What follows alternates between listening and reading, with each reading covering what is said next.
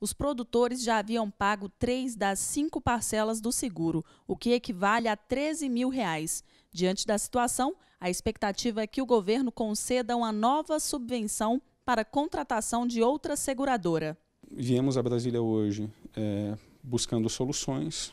Fizemos uma reunião com o secretário de Política Agrícola, o Dr. Neri Geller, acompanhado dos deputados Luiz Carlos Reis e Valdir Colato para verificar algumas situações. Entre elas, o que a gente teve de positivo é a garantia por parte do Ministério da Agricultura de uma subvenção de 45% para os produtores que resolverem recontratar o seguro com uma, uma nova seguradora, né?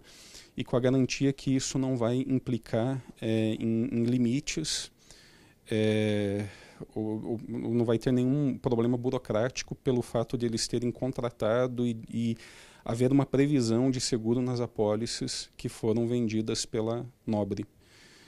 E, é, fora isso, existe uma possibilidade que está sendo é, é, estudada pelo Ministério da Agricultura, mas sem garantias ainda é, de que ela aconteça, que seria uma compensação financeira de parte desse prejuízo de 13 mil reais, em média, para cada uma dessas famílias. Agora é minimizar os impactos sobre o produtor. Nós estamos estudando algumas ações que podem ser tomadas, como o aumento da subvenção, a possível aumento da subvenção para reduzir o custo desse novo seguro ao produtor, já que ele vai ser obrigado a fazer um novo seguro.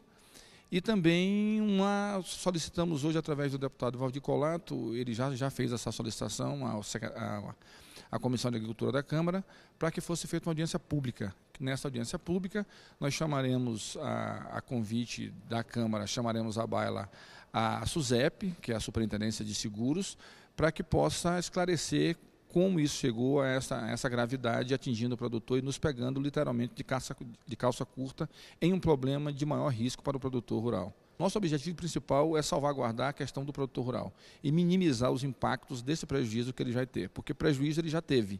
Ele já está descoberto em uma época de grande risco de intempéries climáticas, principalmente granizo. Mas a nossa ideia é tentar reduzir o custo desse produtor para que ele possa ser beneficiado e mesmo na confecção e na, na contratação de um novo seguro, né, com outra seguradora, que ele possa ter um, uma redução desse custo.